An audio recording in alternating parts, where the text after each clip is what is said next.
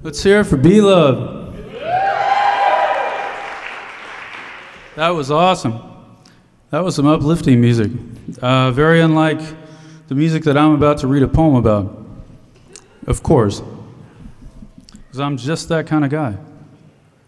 Um, actually, Halloween hasn't ended for me. Um, I like to take Halloween out for two weeks or so.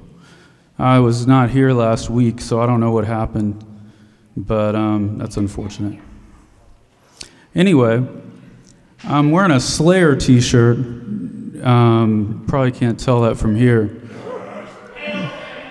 Slayer. Um, they're coming here November 13th, and they are actually one of my favorite bands.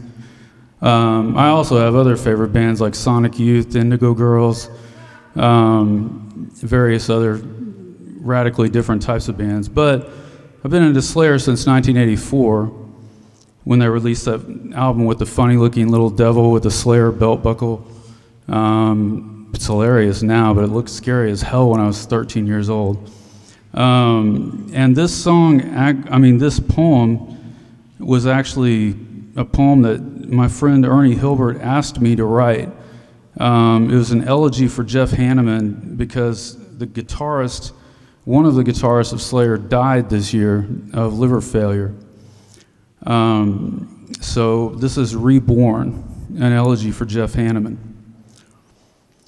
You were the guy who didn't care if someone's head got split. He dove into the pit, you'd shrug with an unblinking stare. You were the weaving, shit faced drunk who never missed a fret, who cranked up minor threat, turning your bandmates onto punk.